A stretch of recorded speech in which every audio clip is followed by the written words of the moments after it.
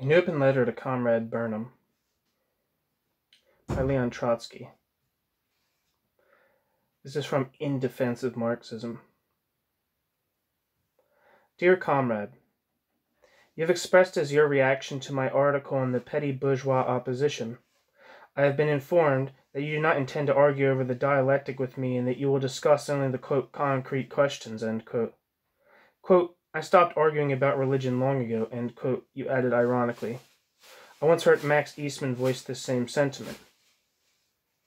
Is there logic in identifying logic with religion? As I understand this, your words imply that the dialectic of Marx, Engels, and Lenin belongs to the sphere of religion. What does this assertion signify?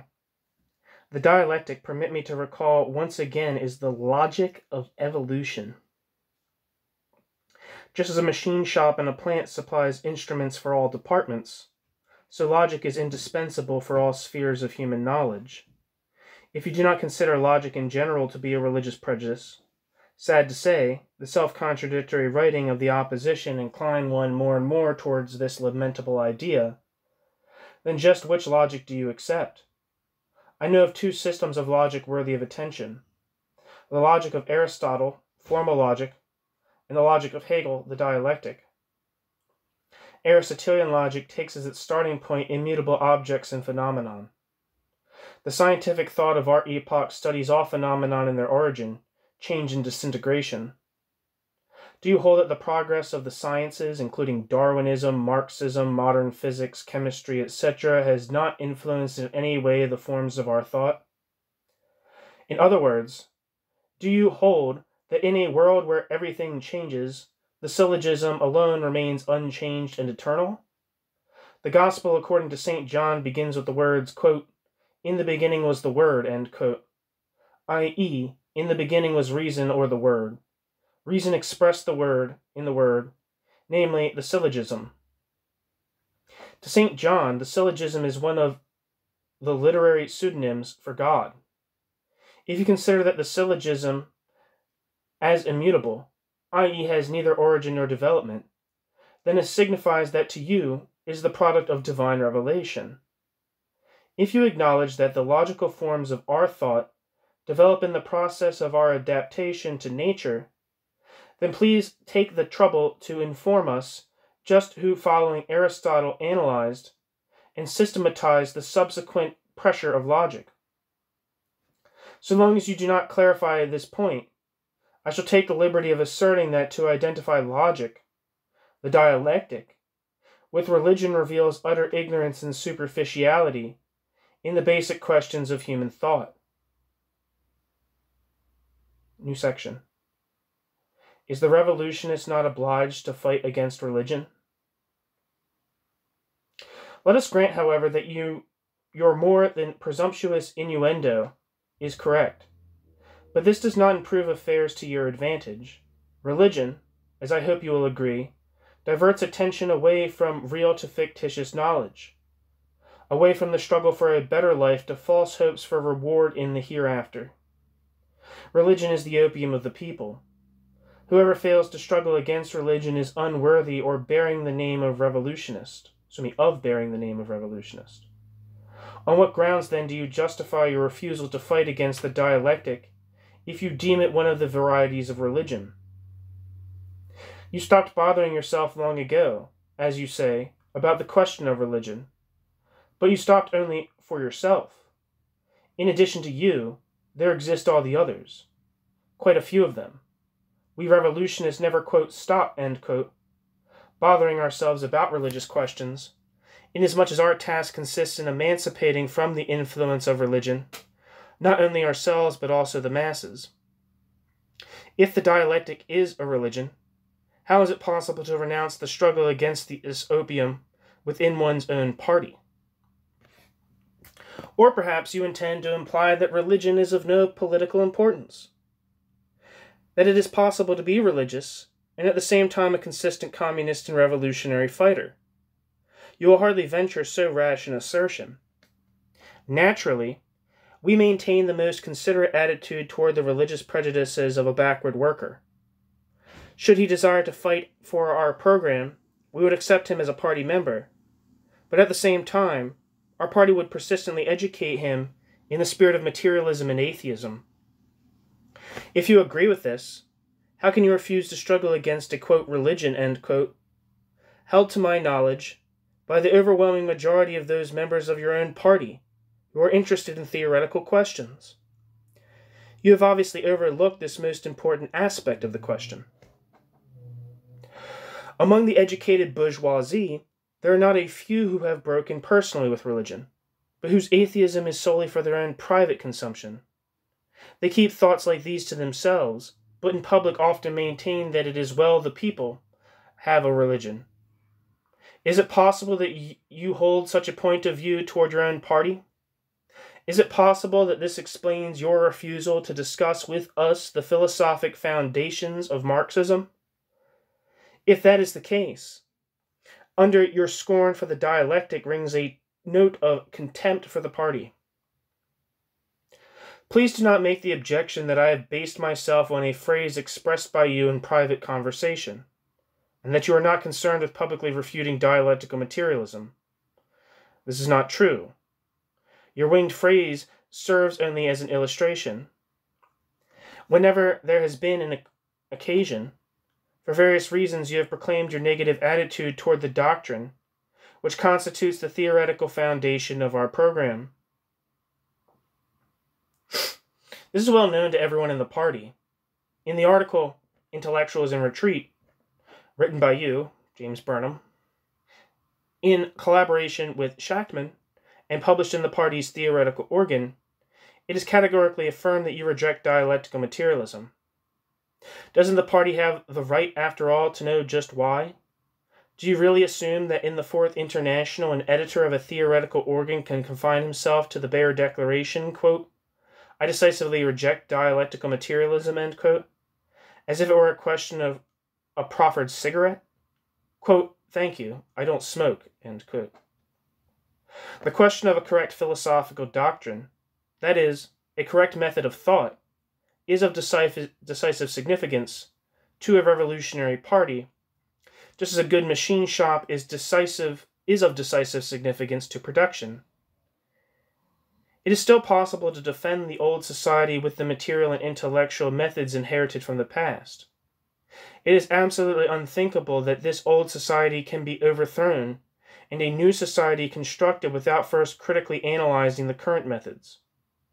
If the party errs in the very foundation of its thinking, it is your elementary duty to point out the correct road. Otherwise, your conduct will be interpreted inevitably as the cavalier attitude of an academician toward a proletarian organization which, after all, is incapable of grasping a real, quote, scientific, end quote, doctrine. What could be worse than that? New section. Instructive examples.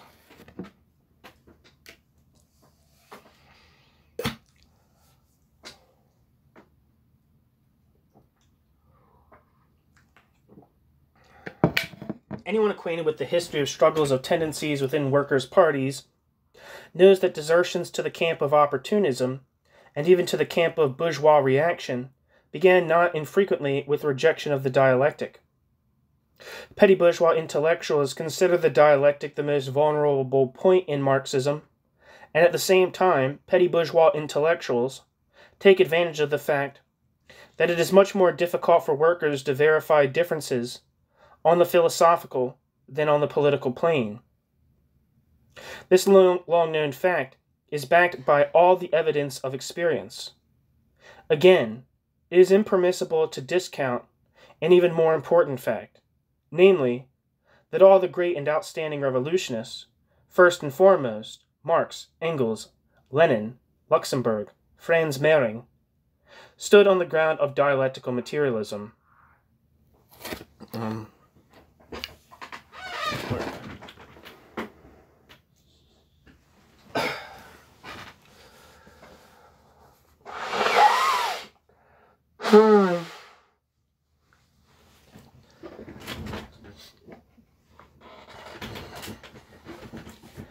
Can it be assumed that all of them were incapable of distinguishing between science and religion? Isn't there too much presumptuousness on your part, Comrade Burnham? The examples of Bernstein, Kautsky, and Franz Mehring are extremely instructive.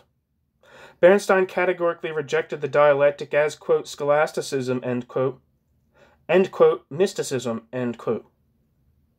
Kautsky maintained indifference toward the question of the dialectic, somewhat like Comrade Shachtman. Mehring was a tireless propagandist and defender of dialectic materialism. For decades, Franz Mehring followed all of the innovations of philosophy and literature, indefatigably exposing the reactionary essence of idealism, neo Kantianism, utilitarianism, all forms of mysticism, etc. The political fate of these three individuals is very well known. Bernstein ended his life as a smug petty bourgeois. Democrat Kautsky, from a centrist, became a vulgar opportunist. As for Franz Mehring, he died a revolutionary communist. In Russia, three very prominent academic Marxists, Struve, Bulgakov, and Berdyaev, B E R D Y A E F.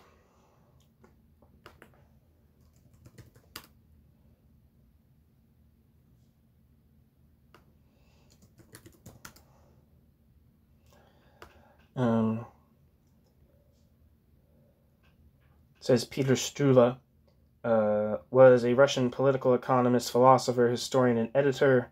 Peter Struve started his career as a Marxist, later became a liberal, and after the Bolshevik Revolution joined the White Movement. From 1920, Struve lived in exile in Paris, where he was a prominent critic of Russian communism.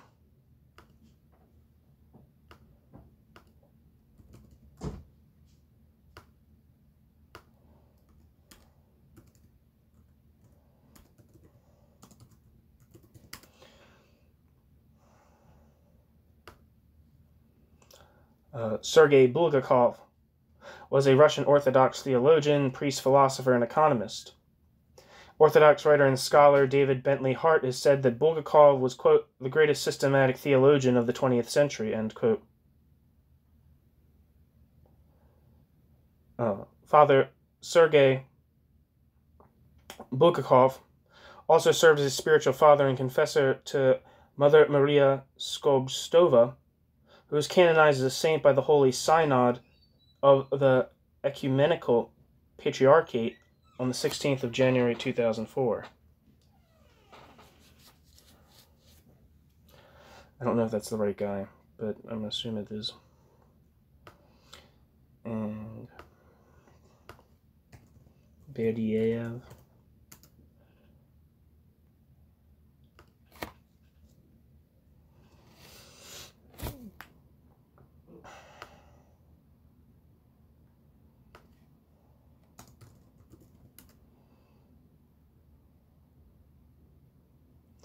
And it says uh, looks like this Berdyaev, Berde, Berdyaev, Berdyaev, Berdyaev.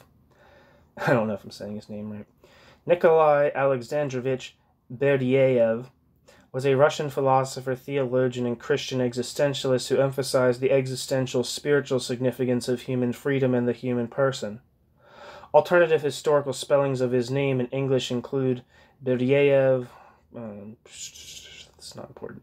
Uh, Russian paleontologist and Christian apologist Alexander V. Khramov attributes his ideas about an atemporal human fall to Beriev and Evgeny Nikolaevich Trubetskoy.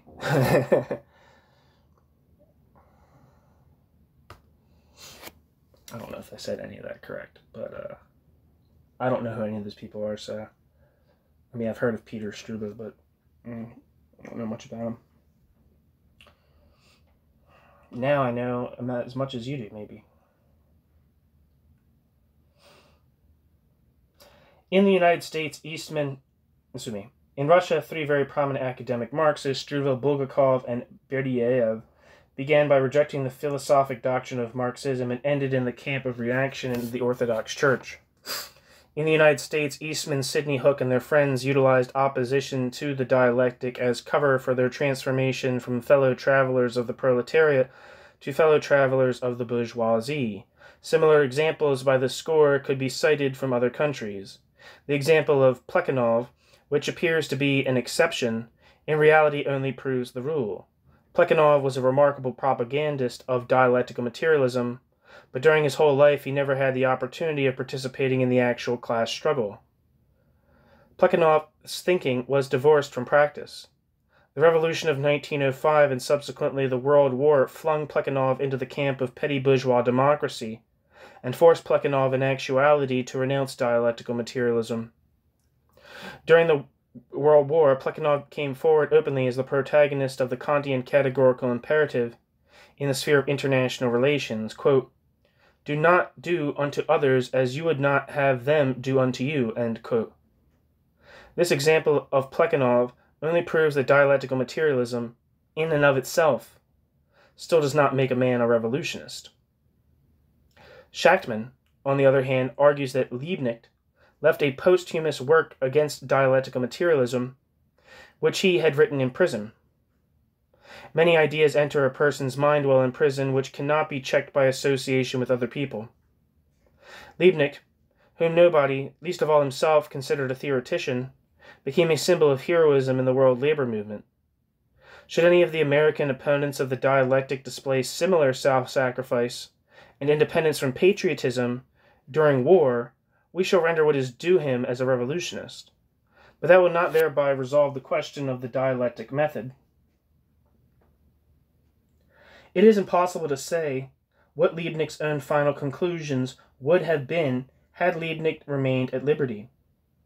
In any case, before publishing his work, undoubtedly Liebknecht would have shown it to his more competent friends, namely Franz Mehring and Rosa Luxemburg. It is quite probable that on their advice he would have simply tossed the manuscript into the fire. Let us grant, however, that against the advice of people far excelling Liebknecht in the sphere of theory, Liebknecht nevertheless had decided to publish his work. Franz Mehring, Rosa Luxemburg, Lenin, and others would not, of course, have proposed that lie be expelled for this, that he be expelled for this from the party. On the contrary, they would have intervened decisively in his behalf had anyone made such a foolish proposal but at the same time they would not have formed a philosophical block with him, but rather would have differentiated themselves decisively from his theoretical mistakes. Comrade Shachtman's behavior, we note, is quite otherwise. Quote, you will observe, he says, excuse me, quote, you will observe, end quote, he says, and this to teach the youth, exclamation point, quote, that Plekhanov was an outstanding theoretician of dialectical materialism but ended up an opportunist. Liebknecht was a remarkable revolutionist, but Liebknecht had had his doubts about dialectical materialism. End quote. This argument, if it means anything at all, signifies that dialectical materialism is of no use whatsoever to a revolutionist. With these examples of Liebknecht and Plekhanov, artificially torn out of history, Shachtman reinforces and, quote, deepens, end quote, the idea of his last year's article, namely, that politics does not depend on method, inasmuch as method is divorced from politics through the divine gift of inconsistency. By falsely interpreting two, quote, exceptions, end quote, Shachtman seeks to overthrow the rule. If this is the argument of a, quote, supporter, end quote, of Marxism, what can we expect from an opponent? The revision of Marxism passes here into its downright liquidation. More than that, into the liquidation of every doctrine and every method. New section. What do you propose instead?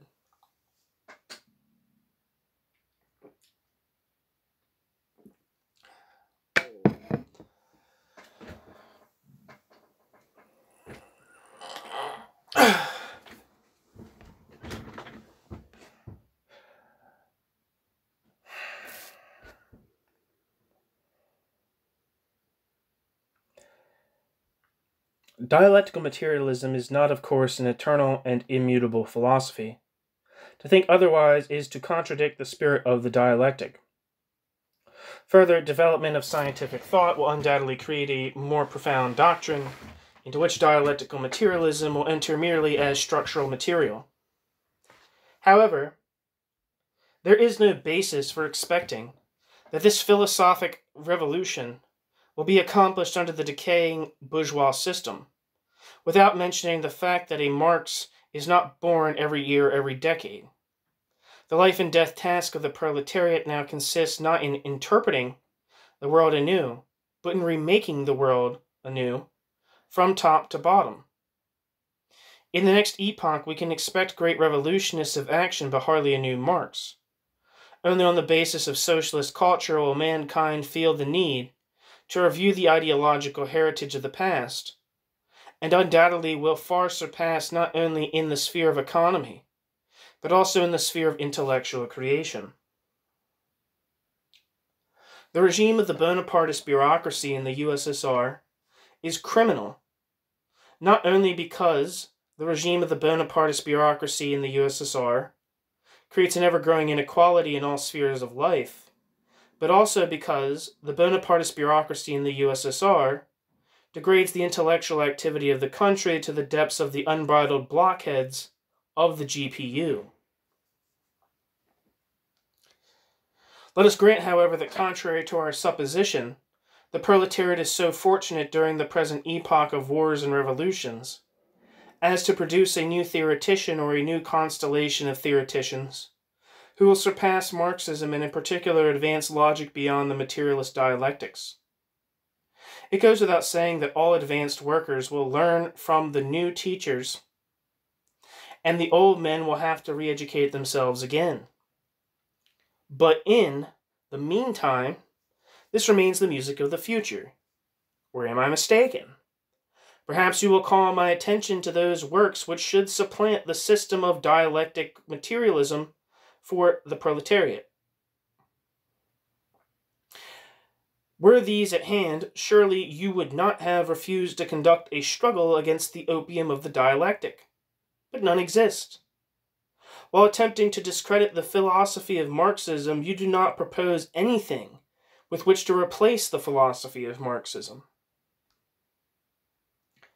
Picture to yourself a young amateur physician who proceeds to argue with a surgeon using a scalpel that modern anatomy, neurology, etc. are worthless. That much in them remains unclear and incomplete, and that only, quote, conservative bureaucrats, end quote, could set to work with a scalpel on the basis of these pseudosciences, etc. I believe that the surgeon would ask his irresponsible colleague to leave the operating room. We too, Comrade Burnham, cannot yield to cheap innuendos about the philosophy of scientific mm-hmm. socialism.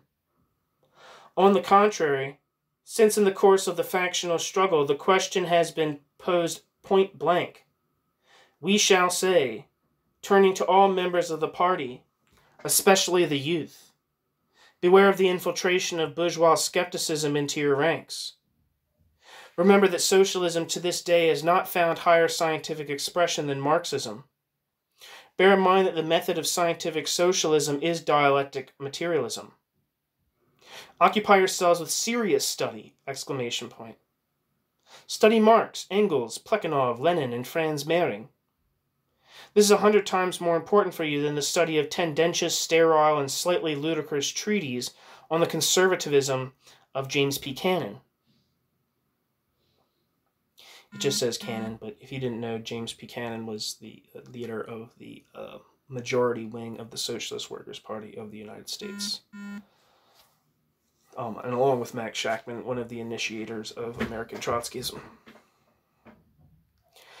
Let the present discussion produce at least this positive result that the youth attempt to embed in their minds a serious theoretical foundation for revolutionary struggle. New section. False political quote realism end quote. In your case, however, the question is not confined to the dialectic. The remarks in your resolution to the effect that you do not now pose for the decision of the party the question of the nature of the Soviet state signify in reality that you do pose this question, if not juridically, then theoretically and politically. And the infants can fail to understand this. This very statement likewise has another meaning, for more outrageous and pernicious, so me far more outrageous and pernicious. It means that you divorce politics from Marxist sociology. Yet for us, the crux of the matter lies precisely in this. If it is possible to give a correct definition of the state without utilizing the method of dialectical materialism, sorry, it just says dialectic materialism, dialectic materialism, if it is possible correctly to determine politics without giving a class analysis of the state, then the question arises is there any need whatsoever for Marxism? Disagreeing among themselves on the class nature of the Soviet state, the leaders of the opposition agree on this that the foreign policy of the Kremlin must be labeled, quote, imperialist, end quote, and that the USSR cannot be conditioned, cannot be supported, quote, unconditionally, end quote. Vastly substantial platform, exclamation point. When the opposing, quote, clique, end quote, raises the question of the nature of the Soviet state point blank at the convention, what a crime. You have in advance agreed, dot, dot, dot, to disagree, i.e., to vote differently. If the British, quote, national, end quote, government, excuse me, in the British, quote, national, end quote, government, this precedent occurs of ministers who, quote, agreed to disagree, end quote, i.e., to vote differently. But His Majesty's ministers enjoy this advantage that they are well aware of the nature of their state and can afford the luxury of disagreement on secondary questions. The leaders of the opposition are far less favorably situated. The leaders of the opposition permit themselves the luxury of differing on the fundamental question in order to solidarize on secondary questions. If this is Marxism and principled politics, then I don't know what unprincipled combinationism means. You seem to consider apparently that by refusing to discuss dialectic materialism and the class nature of the Soviet state, and by sticking to quote concrete end quote questions, you are acting the part of a realistic politician.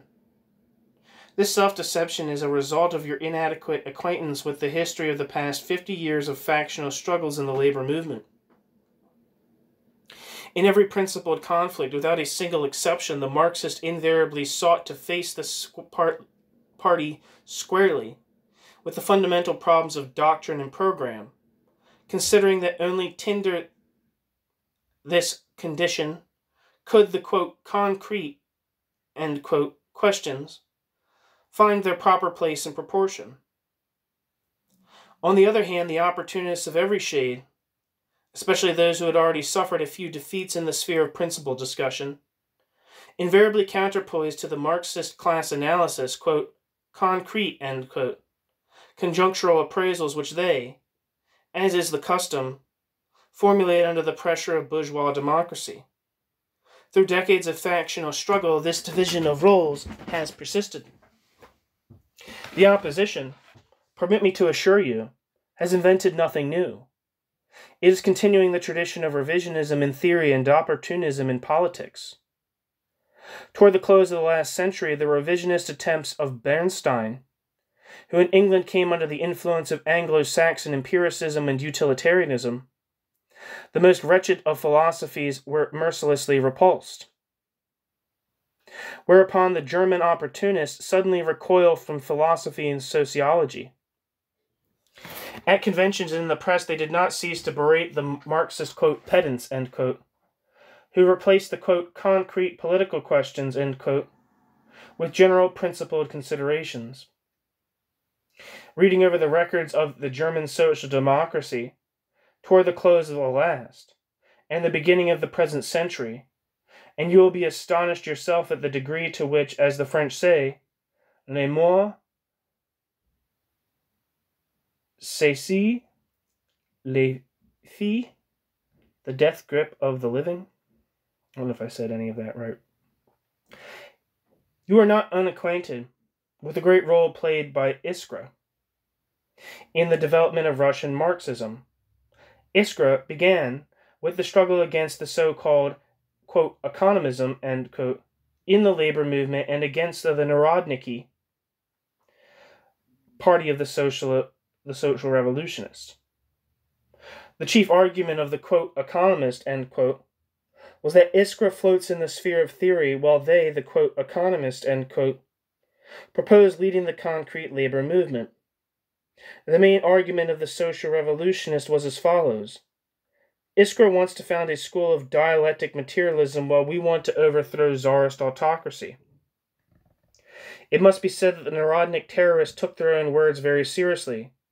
Bomb in hand, they sacrificed their lives. We argued with them, quote, Under certain circumstances, a bomb is an excellent thing, but we should first clarify our own minds. It is historical experience that the greatest revolution in all history was not led by the party which started out with bombs, but by the party which started out with dialectic materialism. When the Bolsheviks and the Mensheviks were still members of the same party, the pre convention periods of the convention itself invariably witnessed an embittered struggle over the agenda. Lenin used to propose as first on the agenda such questions as clarification of the nature of the czarist monarchy, the analysis of the class structure of the re- me, the class character of the revolution, the appraisal of the stages of the revolution we were passing through, etc. Martov and Dan, the leaders of the Mensheviks, invariably objected. We are not a sociological club, but a political party. We must come to an agreement not on the class nature of czarist economy, but on the quote, concrete political tasks. I cite this from memory, but I do not run any risk of error since these disputes were repeated from year to year and became stereotyped in character. I might add that I personally committed not a few sins on this score myself, but I have learned something since then.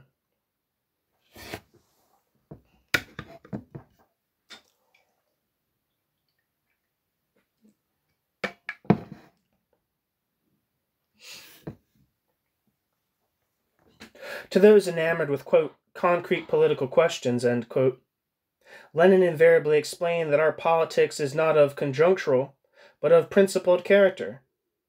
That tactics are subordinate to strategy.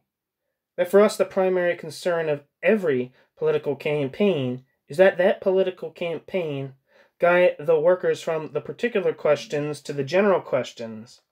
That the political campaign teach them the nature of modern society and the character of modern society's fundamental forces. The Mensheviks always felt the need urgently to slur over principal differences in their unstable conglomeration by means of evasions, whereas Lenin, on the contrary, posed principled questions point blank. The current argument of the opposition against philosophy and sociology in favor of, quote, concrete political questions, end quote, is a belated repetition of Dan's argument. That's a, that's a relation to Fedor Dan, I believe his name was. He's a mensch, prominent Russian Menshevik. Fyodor Dan, um, originally named Gurevich, was a Russian political activist and journalist who helped found the Menshevik faction of the Russian Social Democratic Labor Party.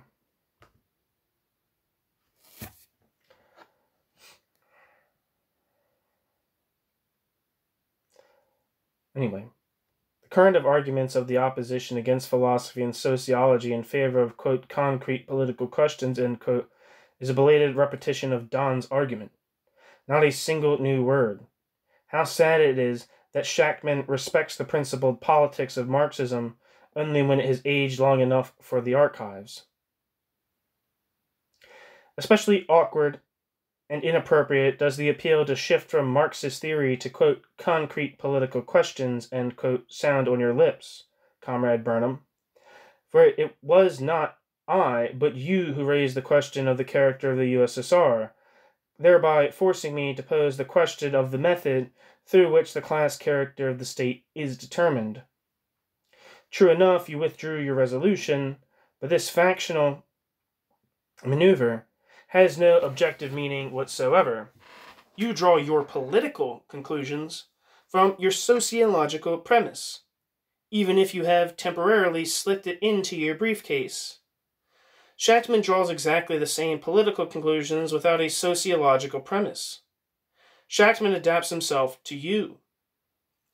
Abern seeks to profit equally both from the hidden premise and the absence of a premise for his quote organizational end quote combinations. This is the real and not the diplomatic situation in the camp of the opposition. You proceed as an anti Marxist, Shachtman and Abern as Platonic Marxists. Who is worse? It is not easy to determine. New section The dialectic of the present discussion.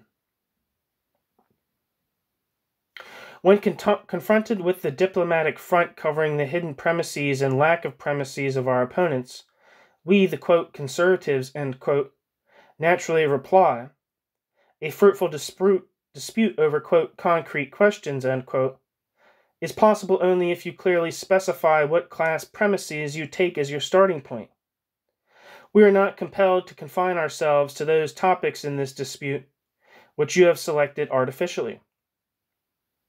Should someone propose that we discuss as, quote, concrete, end quote, questions the invasion of Switzerland by the Soviet fleet, or the length of a tale of a Bronx witch, then I am justified in posing in advance such questions as Does Switzerland have a sea coast? Are these are there witches at all? Every serious discussion develops from the particular and even the accidental to the general and fundamental. The in Undiate. What the hell does that mean? Inundiate.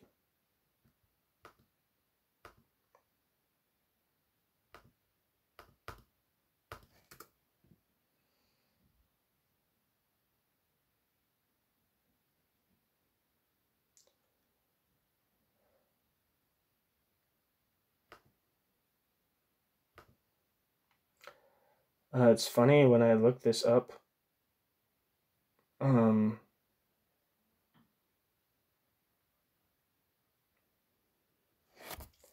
it's a it actually takes me to it's actually like a quote it's actually it seems like people have looked this up before. Um, but i'm getting nothing.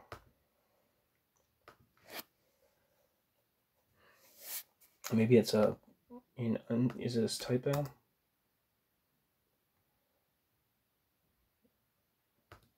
So I guess it's like in undate. I don't fucking know.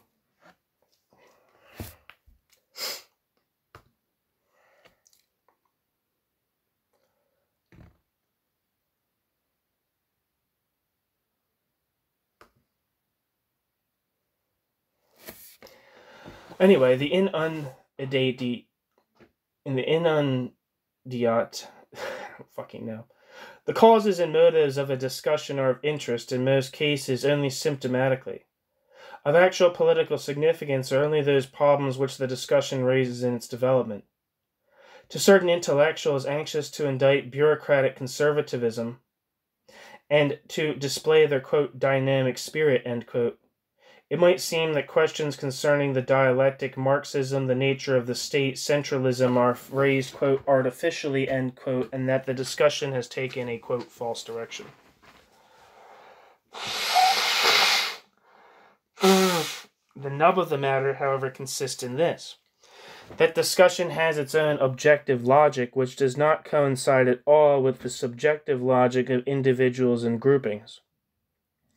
The dialectic character of the discussion proceeds from the fact that its objective course is determined by the living conflict of opposing tendencies, and not by a preconceived logical plan. The materialist basis of the discussion consists in its reflecting the pressure of different classes. Thus, the present discussions in the, in the SWP. Like the historic process as a whole, develops, with or without your permission, Comrade Burnham, according to the laws of dialectical materialism, there is no escape from these laws.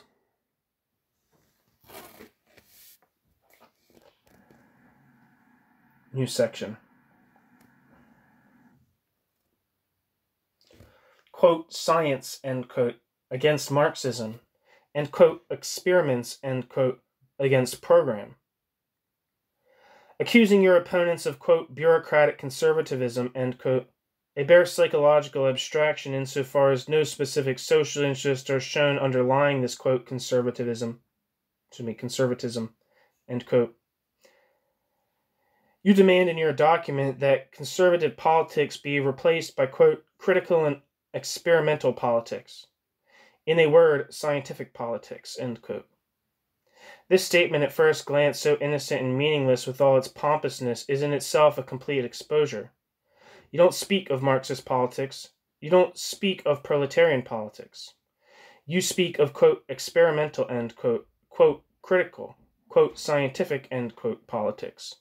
Why this pretentious and deliberately abstruse terminology so unusual in your ranks? Excuse me, in our ranks.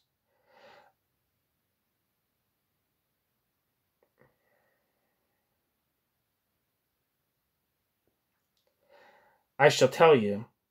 It is the product of your adaptation, Comrade Burnham, to bourgeois public opinion, and the adaptation of Shachtman and Abern to your adaptation.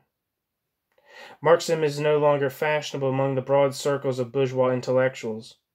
Moreover, if one should mention Marxism, God forbid, he might be taken for a dialectic materialist. It is better to avoid this discredited word. What to replace it with? Why, of course, with quote, science, end quote, even with science capitalized. And science, as everybody knows, is based on quote, criticism and quote, experiments. It has its own ring so solid, so tolerant, so unsectarian, so professional. With this formula, one can enter any democratic salon. Reread, please, your own statement once again. Quote, in place of conservative politics, we must put bold, flexible, critical, and experimental politics.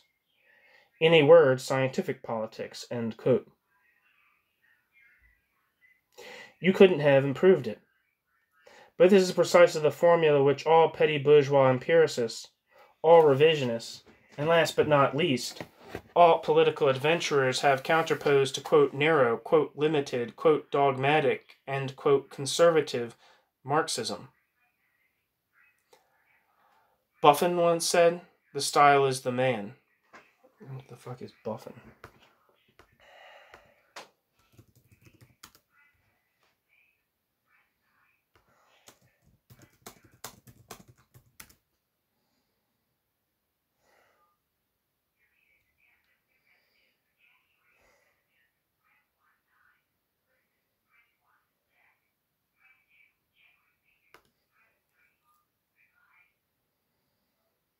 Um, Buffon was a French naturalist, mathematician, and cosmologist.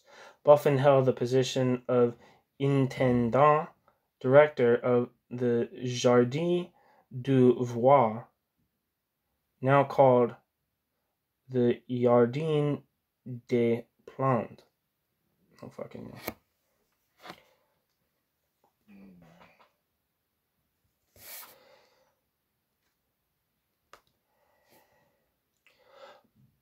Buffon once said, The style is the man. Political terminology is not only the man but the party. Terminology is one of the elements of the class struggle. Only lifeless pedants can fail to understand this. In your document, you painstakingly expunge, yes, no one else but you, Comrade Burnham, not only such terms as the dialectic and materialism, but also Marxism. You are above all this. You are a man of quote, critical, quote, experimental science. For exactly the same reason you called the label quote, imperialism end quote, to describe the foreign policy of the Kremlin. This innovation differentiates you from two, the too embarrassing terminology of the Fourth International. By creating less quote, sectarian end quote, less quote, religious end quote, less rigorous formulas, common to you and oh happy coincidence, bourgeois democracy.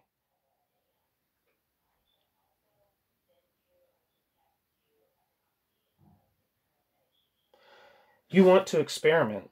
Question mark. But permit me to, ri- to permit me permit me to remind you that the workers' movement possesses a long history, with no lack of experience, and if you prefer, experiments. This experience, so dearly bought, has been crystallized in the shape of a definite doctrine, the very Marxism whose name you so carefully avoid. Before giving you the right to experiment, the party has the right to ask, What method will you use? Henry Ford would scarcely permit a man to experiment in his plant who had not assimilated the requisite conclusions of the past development of industry and the innumerable experiments already carried out. Furthermore, experimental laboratories and factories are carefully segregated from mass production. Far more impermissible even are witch doctor experiments in the sphere of the labor movement, even though conducted under the banner of anonymous quote, science. Quote. For us, the science of the workers' movement is Marxism. Nameless social science. Science, with a capital letter, we leave these completely at the disposal of Eastman and Eastman's ilk. I know that you have engaged in disputes with Eastman, and in some questions you have argued very well. But you debate with Eastman as a representative of your own circle and not as an agent of the class enemy. You revealed this conspicuously in your joint article with Shachtman when you ended up with the unexpected invitation to Eastman, Hook, Lyons, and the rest that you that they take advantage of the pages of the New International to promulgate their views. It did not even concern you that they might pose the question of the dialectic, and thus drive you out of your diplomatic silence. On the 20th of January of last year, Hence, long prior to this discussion, in a letter to Comrade Shachtman, I insisted on the urgent necessity of attentively following the internal development of the Stalinist Party. I wrote, quote, It would be a thousand times more important than inviting Eastman, Lyons, and the others to present their personal s- sweatings. I was wondering a bit why you gave space to Eastman's last insignificant and arrogant article. Lie has it, excuse me, Lie has at his disposal Harper's Magazine.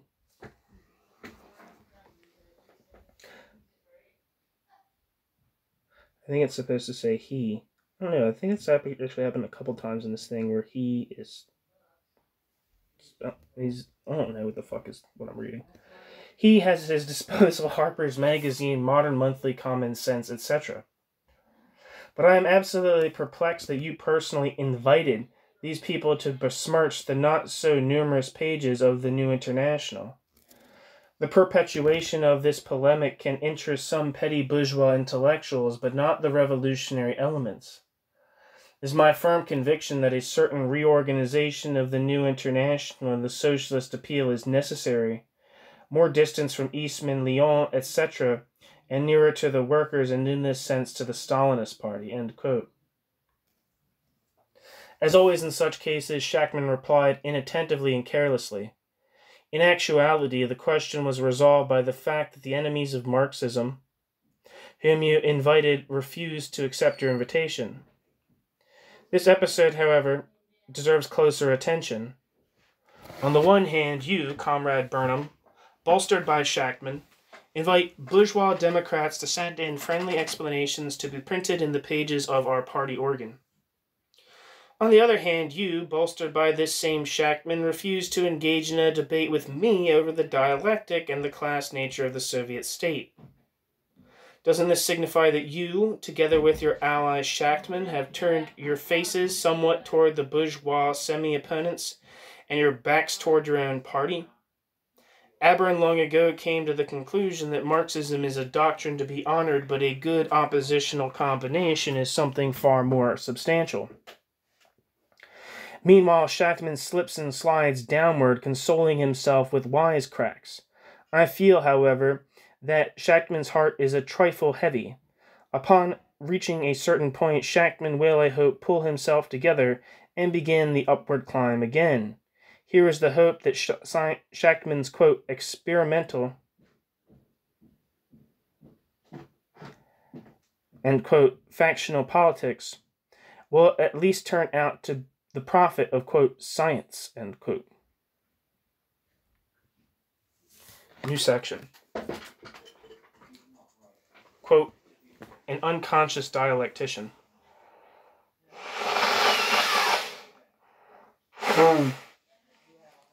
I've been sick like five times this winter.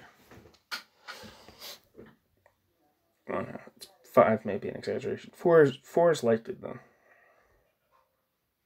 and at least three.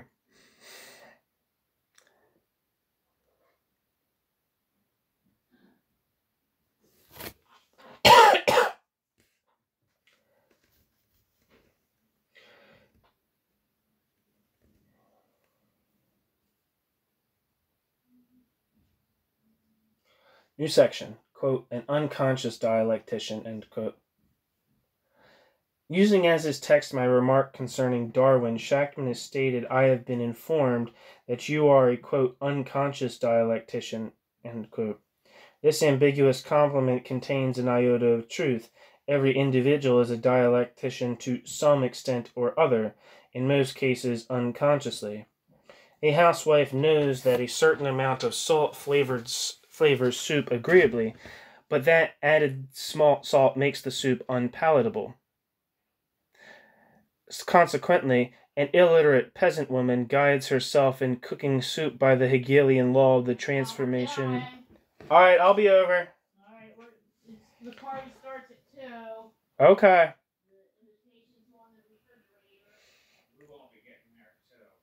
Okay. I guess text me when you do get there.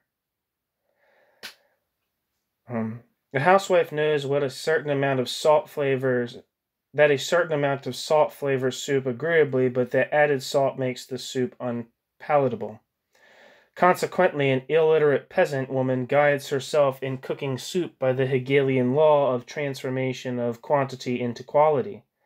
Similar examples from daily life could be cited without end. Even animals arrive at their practical conclusions not only on the basis of Aristotelian syllogism, but also on the basis of the Hegelian dialectic. Thus, a fox is aware that quadrupeds and birds are nutritious and tasty. On sighting a hare, a rabbit, or a hen, a fox concludes this particular creature belongs to the tasty and nutritive type, and chases after the prey. We have here a complete syllogism although the fox, we may suppose, never read Aristotle. When the same fox, however, encounters the first animal which exceeds its size, for example, a wolf, it quickly concludes that quantity passes into quality and turns to flee. Clearly, the legs of a fox are equipped with Hegelian tendencies, even if not fully conscious Hegelian tendencies. All this demonstrates, in passing, that our methods of thought both formal logic and the dialectic, are not arbitrary constructions of our reason, but rather expressions of the actual interrelationships in nature itself. In this sense, the universe throughout is permitted with permeated with quote unconscious end quote dialectics. But nature did not stop there. No little development occurred before nature's interrelationships were converted into the language of the consciousness of foxes and men. And man was then enabled to generalize these forms of consciousness and transform them into logical dialectical categories, thus creating the possibility for probing more deeply into the world about us.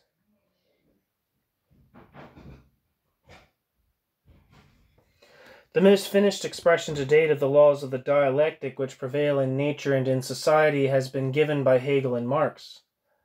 Despite the fact that Darwin was not interested in verifying his logical methods, his empiricism, that of a genius, in the sphere of natural science reached the highest dialectic generalizations. In this sense, Darwin was, as I stated in my previous article, quote, an unconscious dialectician. We do not, however, value Darwin for his inability to rise to the dialectic, but for having, despite his philosophical backwardness, explained to us the origin of species. Engels was, it might be pointed out, exasperated by the narrow empiricism of the Darwinian method, although Engels, like Marx, immediately appreciated the greatness of the theory of natural selection. Darwin, on the contrary, remained a loss, ignorant of the meaning of Marxist sociology to the end of his life. Had Darwin come out in the press against the dialectic or materialism, Marx and Engels would have attacked Darwin with redoubled force so as not to allow Darwin's authority to cloak ideological reaction. In the attorney's plea of Shachtman to the effect that you are a quote unconscious dialectician, end quote, the stress must be laid on the word unconscious. Shachtman's aim, also partly unconscious, is to defend his bloc with you by degrading dialectic materialism. For in reality, Shachtman is saying the difference between a conscious and a quote unconscious dialectician is not so great that one must quarrel about it. Shachtman thus attempts to discredit the Marxist method. But the evil goes even beyond this. Very many unconscious or semi unconscious dialecticians exist in this world. Some of them apply the materialist dialectic excellently to politics, even though they have never concerned themselves with questions of method. It would obviously be pedantic blockheadedness to attack such comrades. But it is otherwise with you, Comrade Burnham. You are an editor of the theoretical organ whose task it is to educate the party in the spirit of the Marxist method. You are a conscious opponent of the dialectic, and not at all an unconscious dialectician. Even if you had, as Shachtman insists, successfully followed the dialectic in political questions, i.e., even if you endowed with a dialectic, quote, instinct, end quote, we would still be compelled to begin a struggle against you because your dialectic instinct, like other individual qualities, cannot be transmitted to others, whereas the conscious dialectic method can, to one degree or another, be made accessible to the entire party.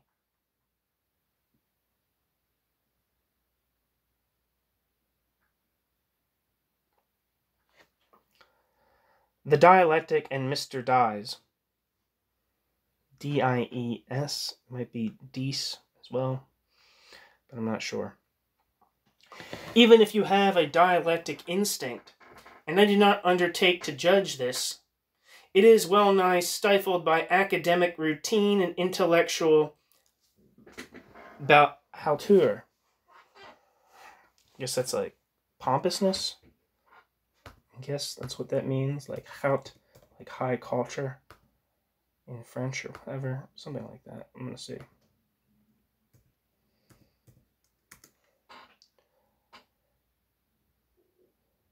Yeah. Haughtiness of nature. To me, haughtiness of manner, disdainful pride.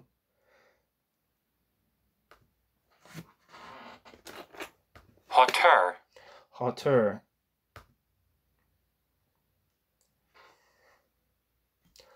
Uh, and haughtiness is the appearance of uh, quality of being arrogantly superior and disdainful. I think that's a. I think uh, um, Loren Goldner's uh, blog or website, whatever, break their haughty power, um, uses that word, and that's which is from I believe. Um, from the song Solidarity Forever. Um, break their haughty power, get our freedom when we learn that the union makes us strong. I think is the lyric. Um. Anyway, the dialectic in Mr. Dies. Even if you have a dialectic instinct, and I do not undertake to judge this, it is well nigh stifled by academic routine and intellectual hauteur what we term the class instinct of the worker accepts with relative ease the dialectic approach to questions. There can be no talk of such a class instinct in a bourgeois intellectual. Only by consciously surmounting this petty bourgeois spirit can an intellectual divorced from the proletariat rise to Marxist politics. Unfortunately, Shachtman and Abern are doing everything in their power to bar this road to you. By their support, they render you a very bad service, Comrade Burnham.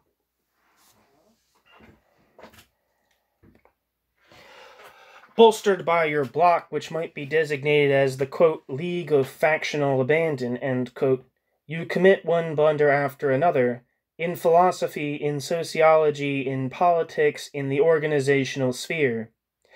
Your errors are not accidental. You approach each question by isolating it, by splitting it away from its connection with other questions, away from connection with social factors, and independently of international experience. You lack the dialectic method.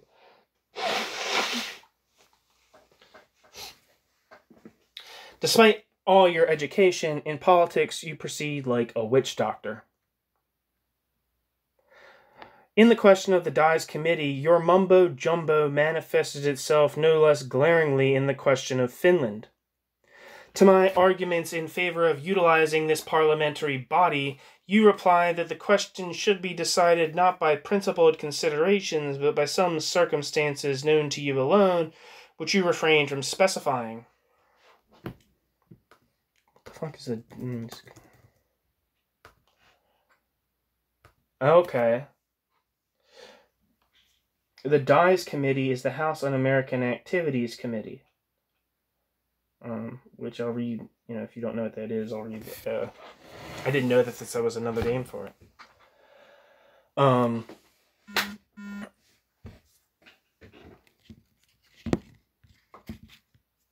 sorry, one second.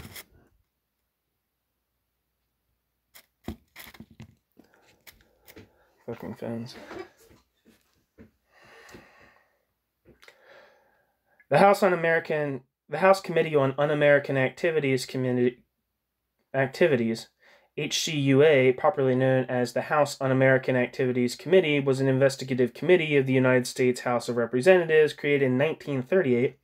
I didn't know it was made while Trotsky was still alive um, to investigate alleged disloyalty and subversive activities on the part of private citizens, public employees, and those organizations suspected of having communist ties. It became a standing permanent committee in 1945, and from 1969 onwards, it was known as the House Committee on Internal Security.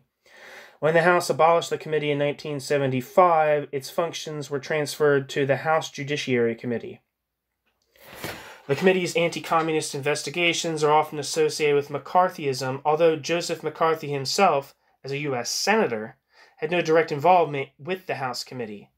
McCarthy was the chairman of the Government Operations Committee and the Government Operations Committee's permanent subcommittee on investigations of the U.S. Senate, not the House.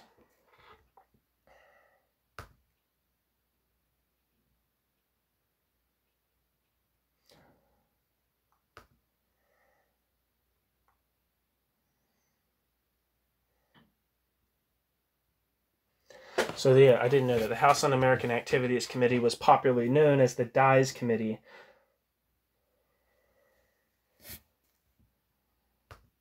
Okay.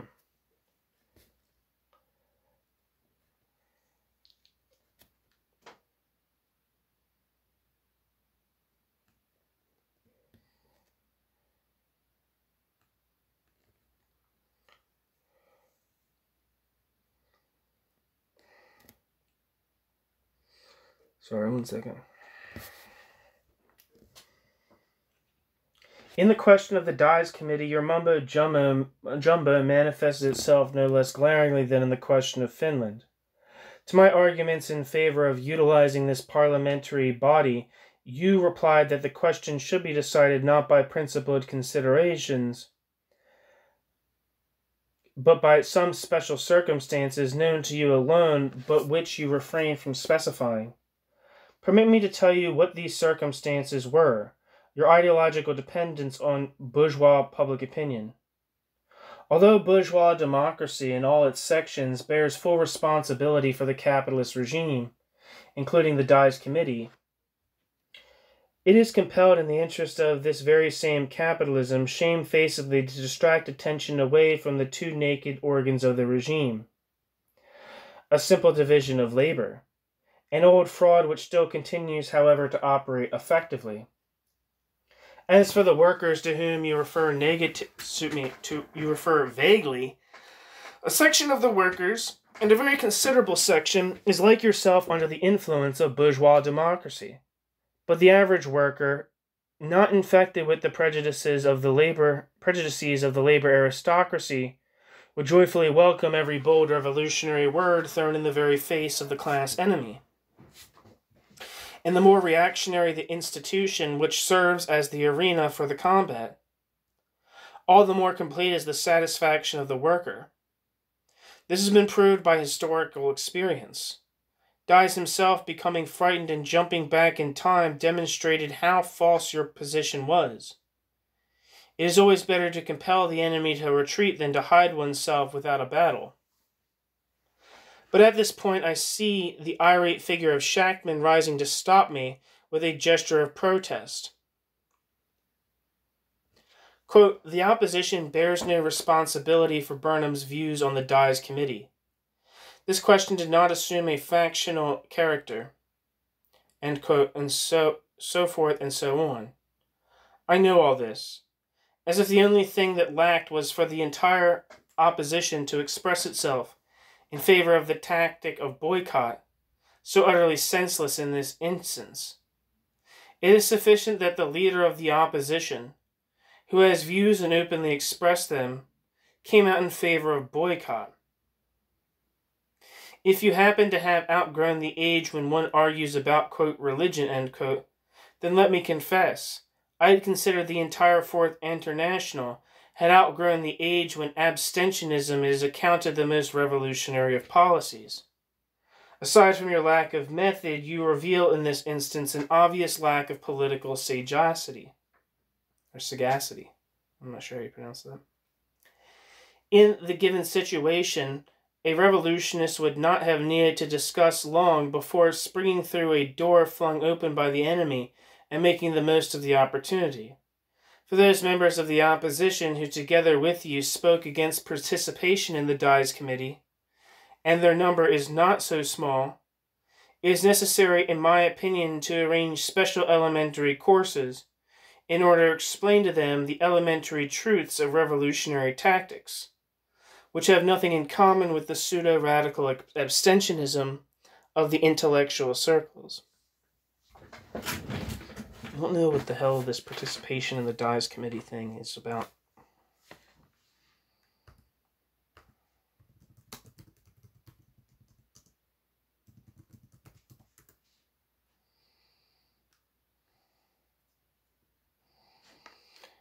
Okay.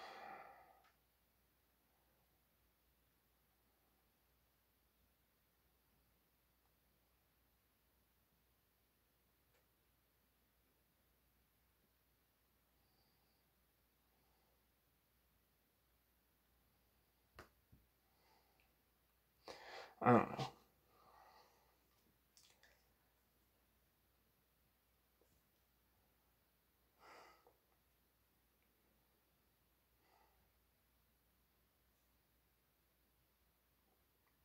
Quote, new section, quote, concrete political questions, end quote.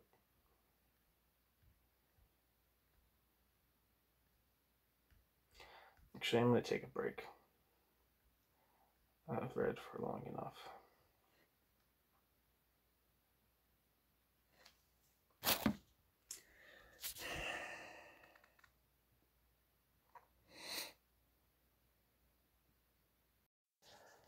Concrete political question. The opposition is weakest precisely in the sphere where it imagines itself especially strong, the sphere of day to day revolutionary politics. This applies above all to you, Comrade Burnham. Impotence in the face of great events manifested itself in you as well as in the entire opposition most glaringly in the questions of Poland, the Baltic states, and Finland. Shachtman began by discovering a philosopher's stone, the achievement of a simultaneous insurrection against Hitler and Stalin in occupied Poland. The idea was splendid. It is only too bad that Shachtman was deprived of the opportunity of putting it into practice.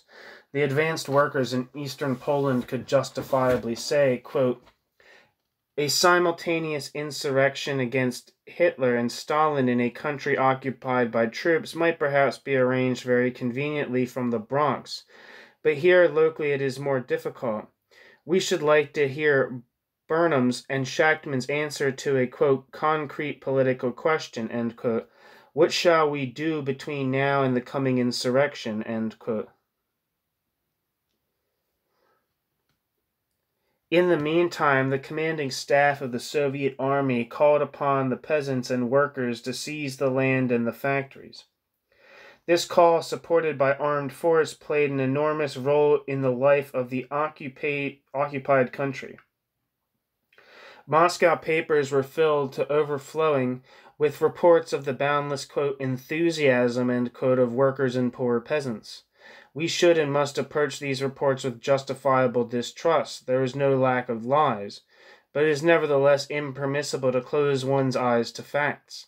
The call to settle accounts with the landlords and to drive out the capitalists could not have failed to rouse the spirit of the hounded and crushed Ukrainian and Belarusian peasants and workers who saw in the Polish landlord a double enemy.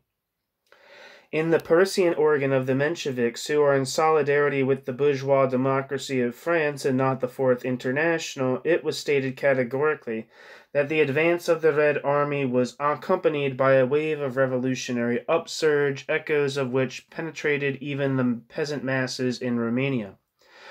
What adds special weight to the dispatches of this organ is the close connection with the Mensheviks and the leaders of the Jewish Bund, the Polish Socialist Party, and other organizations who are hostile to the Kremlin and who fled from Poland. We were therefore completely correct when we said to the Bolsheviks in eastern Poland, quote, Together with the workers and peasants, and in the forefront, you must conduct a struggle against the landlords and capitalists. Do not tear yourself away from the masses. Despite all their illusions, just as the Russian revolutionists did not tear themselves away from the masses who had not yet freed themselves from their hopes in, in the Czar. For instance, on Bloody Sunday, January 22, 1905. Educate the masses in the course of the struggle. Warn them against naive hopes in Moscow, but do not tear yourself away from them. Fight in their camp. Try to extend and deepen their struggle and to give their struggle the greatest possible independence. Only in this way will you prepare the coming insurrection against Stalin.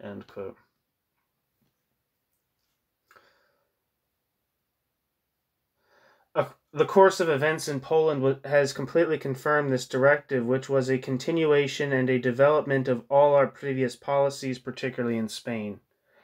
Since there is no principal difference between the Polish and Finnish situations, we can have no grounds for changing our directive. But the opposition, who failed to understand the meaning of the Polish events, now tries to clutch at Finland as a new anchor of salvation. Quote, Where is the civil war in Finland? Trotsky talks of civil war. We have seen nothing about it in the press, quote, and so on. The question of Finland appears to the opposition as in principle different from the question of western Ukraine and Belarusia. Uh, Belarusia, I guess it says. It says the way it's spelled in this piece is B Y E L O space Russia. Each question is isolated and viewed aside and apart from the general course of development. Confounded by the course of events, the opposition seeks each time to support itself on some accidental, secondary, temporary, and conjunctural circumstances. Do these cries about the absence of civil war in Finland signify that the opposition would adopt our policy if civil war were actually to unfold in Finland? Yes or no?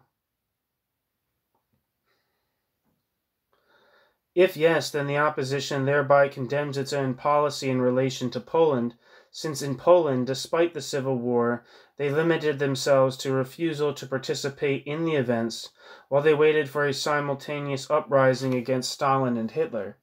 It is obvious, Comrade Burnham, that you and your allies have not thought this question through to the end. What about my assertion concerning a civil war in Finland?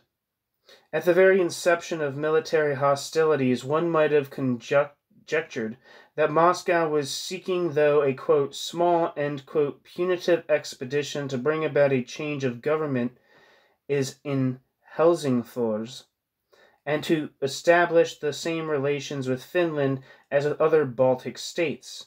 But the appointment of the Kunisen, Kunisinen government in Terajoki or Terioki demonstrated that Moscow had other plans and aims.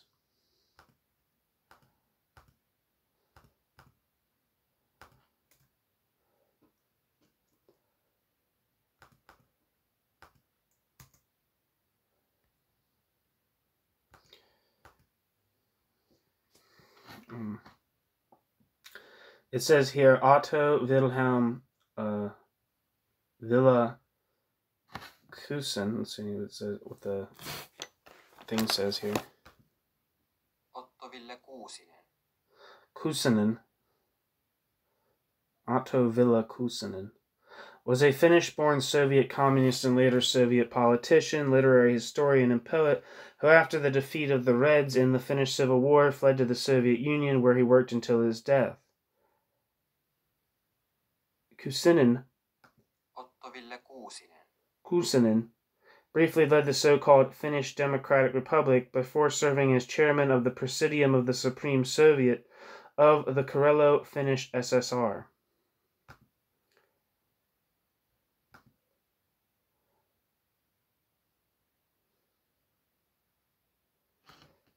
But the sorry, so back to the text. But the appointment of the Kuusinen government in the Terioki demonstrated that Moscow had other plans and aims. Dispatches then reported the creation of a Finnish quote, Red Army. End quote. Naturally, it was only a question of small formations set up from above. The pro- program of Kusinin, Kunisin was issued. So, oh, sorry, no, it was spelled wrong the first time. God damn it.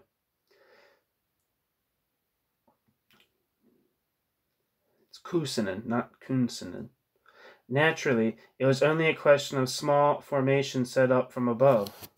Uh, the program of Kusinen was issued. Next, the dispatches appeared of the division of large estates among poor peasants. In their totality, these dispatches signified an attempt on the part of Moscow to organize a civil war. Naturally, this is a civil war of a special type. It does not arise spontaneously from the depths of the popular masses. Civil, it is not conducted under the leadership of the Finnish Revolutionary Party based on mass support. It is introduced on bayonets from without. It is controlled by the Moscow bureaucracy. All this we know, and we dealt with all this in discussing Poland. Nevertheless, it is precisely a question of civil war, of an appeal to the lowly, to the poor, a call to the poor to expropriate the rich, drive the rich out, arrest them, etc. I know of no other name for these actions except civil war. Quote, but, after all, the civil war in Finland did not unfold, and quote, object the leaders of the opposition. Quote, this means that you your predictions did not materialize. With the defeat and the retreat of the Red Army, I reply, the civil war in Finland cannot, of course, unfold under the bayonets of Mannerheim. This fact is an argument not against me but against Shachtman, since it demonstrates that in the first stages of war, at a time when discipline in armies is still strong, it is much easier to organize insurrection and on two fronts to boot from the Bronx then from Terioki. Just to tell you how that's spelled, it's spelled T E R R I J O K I. Um, and if you know where that is or what that means, I'm assuming it's somewhere in Finland. Um, you know more than me. We did not foresee the defeats of the first detachments of the Red Army. We could not have foreseen the extent to which stupidity and demoralization reign in the Kremlin and in the tops of the army backed, me, beheaded by the Kremlin. Nevertheless, what is involved is only a military episode, which cannot determine our political line. Should Moscow, after Moscow's first unsuccessful attempt, refrain entirely from any further offensive against Finland, then the very question which today obscures the entire world situation to the eyes of the opposition would be removed from the order of the day. But there is little chance for this. On the other hand, if England, France, and the United States, basing themselves on Scandinavia, were to aid Finland with military force, then the Finnish question would be submerged into a war between the USSR and the imperialist countries. In this case, we must assume that even a majority of the oppositionists would remind themselves of the program of the Fourth International. At the present time, however, the opposition is not interested in these two variants either the suspension of the offensive on the part of the USSR or the outbreak of hostilities between the USSR and the imperialist democracies. The opposition is interested only in the isolated question of the USSR's invasion of Poland. Very well.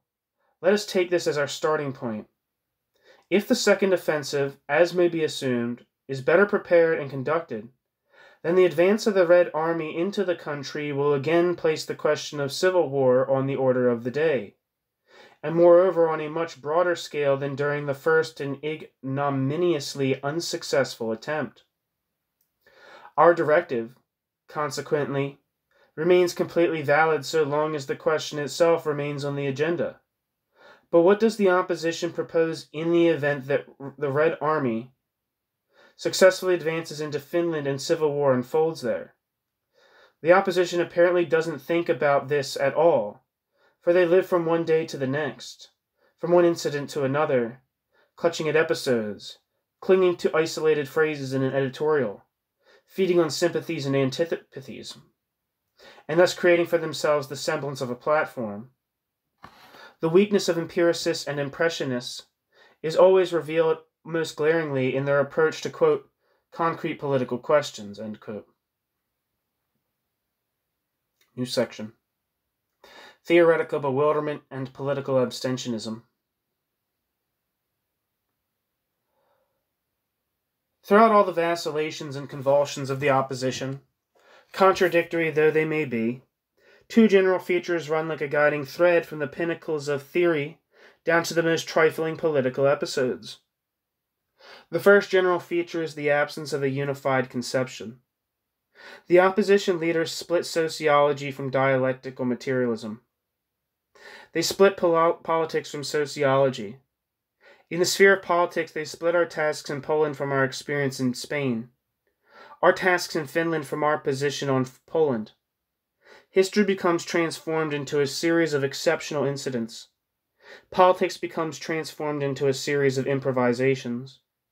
We have here, in the full sense of the term, the disintegration of Marxism, the disintegration of theoretical thought, the disintegration of politics into politics' constituent elements. Empiricism and empiricism's foster brother, Impressionism, dominate from top to bottom. That is why the ideological leadership, Comrade Burnham, rests with you as an opponent of the dialectic, as an empiricist, unabashed unabashed by his empiricism.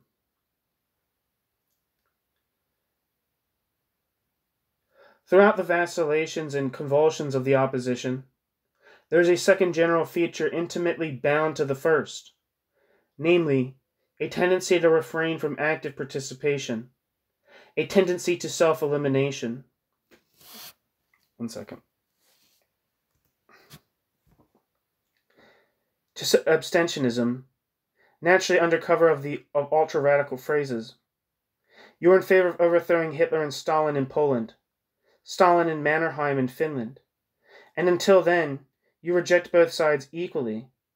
In other words, you withdraw from the struggle, including the Civil War. Your citing the absence of civil war in Poland is only an accidental conjunctural argument. Should the Civil War unfold, the opposition will attempt not to notice it, as they tried not to notice it in Poland. Or they would declare that inasmuch as the policy of the Moscow bureaucracy is, quote, imperialist, end quote, in character, quote, we, end quote, do not take part in this filthy business.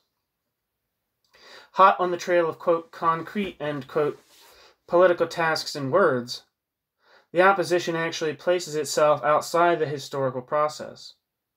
Your position, Comrade Burnham, in relation to the Dies Committee merits attention precisely because it is a graphic expression of this same tendency of abstentionism and bewilderment. Your guiding principle still remains the same. Quote, thank you, I don't smoke, end quote. Naturally, any man, any party, and even class can become bewildered. But with the petty bourgeoisie, bewilderment, especially in the face of great events, is an inescapable and, so to speak, congenital condition. The intellectuals attempt to express their state of bewilderment in the language of quote, science. Quote. The contradictory platform of the opposition reflects petty bourgeois bewilderment, expressed in the bombastic language of the intellectuals. There is nothing proletarian about it. Where's my water? What'd you do with my water? What'd you do with my water?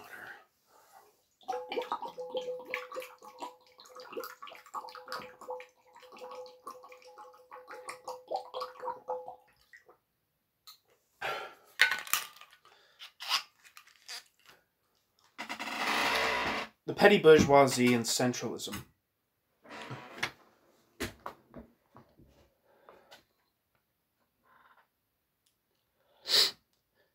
In the organizational sphere, your views are just as schematic, empiric, non revolutionary as is the sphere of theory and politics. A. Stolberg, lantern in hand, chases after an ideal revolution, unaccompanied by any excesses, and guaranteed against Thermidor and counter revolution, you likewise seek an ideal party democracy which would secure forever and for everybody the possibility of saying what in doing whatever popped into his head, and which would ensure the party against bureaucratic degeneration. You overlook a trifle, namely, that the party is not an arena for the assertion of free individuality, but an instrument of proletarian revolution, that only a victorious revolution is capable of preventing the degeneration not only of the party, but of the proletariat itself, and of modern civilization as a whole.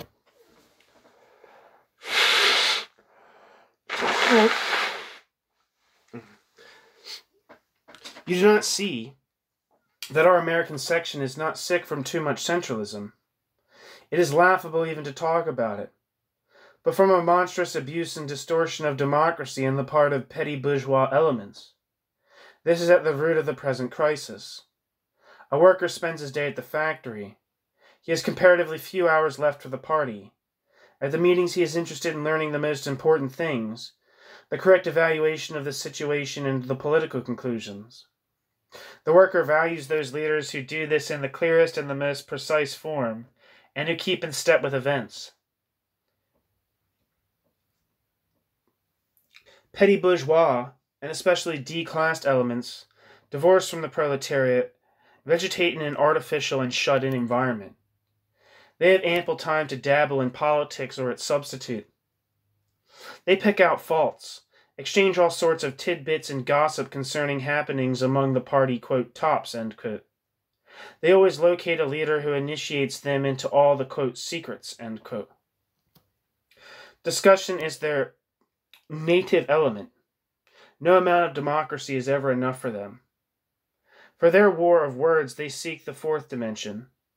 They become jittery. They revolve in a vicious circle, and they quench their thirst with salt water. Do you want to know the organizational program of the opposition? It consists of a mad hunt for the fourth dimension of party democracy. In practice, this means burying politics beneath discussion, and burying centralism beneath the anarchy of the intellectual circles. When a few thousand workers join the party, they will call the petty bourgeois anarchists severely to order. The sooner the better. Conclusions Why do I address you and not the other leaders of the opposition? Because you are the ideological leader of the bloc. Comrade Abern's faction destitute of a program and a banner, is ever in need of power. At one time, Shachtman served as cover, then Must with Spector, and now you, with Shachtman adapting himself to you. Your ideology I consider the expression of bourgeois influence in the proletariat. To some comrades, the tone of this letter may perhaps seem too sharp. Yet let me confess, I did everything in my power to, to restrain myself. For after all, it is a question of nothing more or less than an attempt to reject, disqualify, and overthrow the theoretical foundations, the pr- political principles, and organizational methods of our movement. In reaction to my previous article, Comrade Abern, it has been reported, remarked, quote, This means split, end quote. Such a response merely demonstrates that Abern lacks devotion to the party and the Fourth International.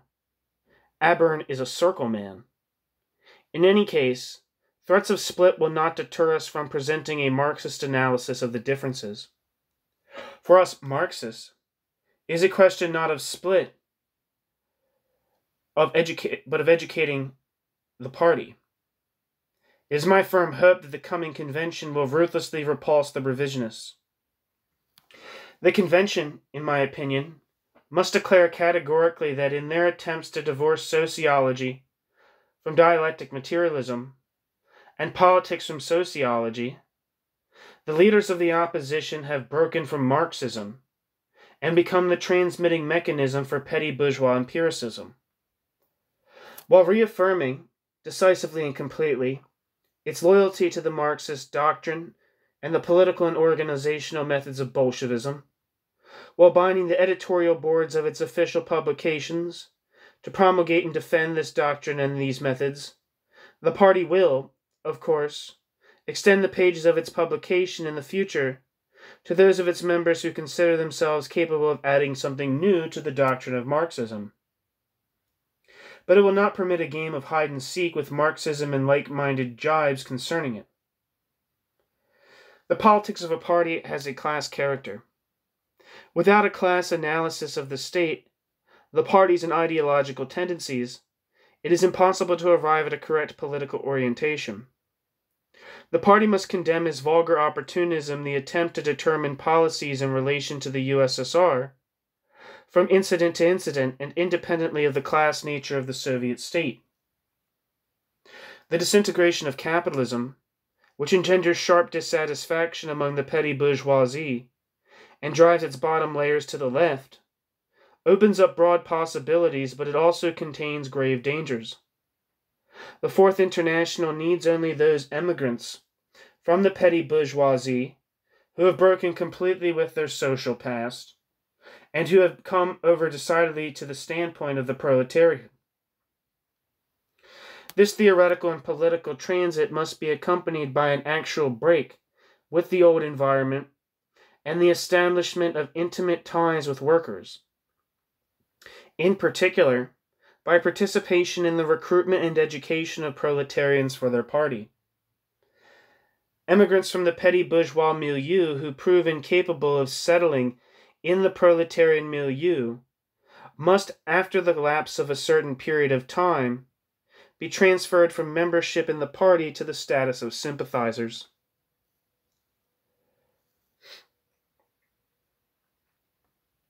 Members of the party untested in the class struggle must be placed in responsible positions. Excuse me, must not be placed in responsible positions, excuse me. No matter how talented and devoted to socialism an emigrant from the bourgeois milieu may be. Before becoming a teacher, he must first go to school in the working class. Young intellectuals must not be placed at the head of the intellectual youth, but sent out into the provinces for a few years, into the purely proletarian centers, for hard practical work. The class composition of the party must correspond to its class program. The American section of the Fourth International will either become proletarian or it will cease to exist. Comrade Burnham, if we can arrive at an agreement with you on the basis of these principles, then without difficulty we shall find a correct policy in relation to Poland, Finland, and even India. At the same time, I pledge myself to help you conduct a struggle against any manifestations whatsoever of bureaucratism and conservatism. Excuse me, conservatism. These, in my opinion, are the conditions necessary to end the present crisis. With Bolshevik greetings, Leon Trotsky, January 7th, 1940.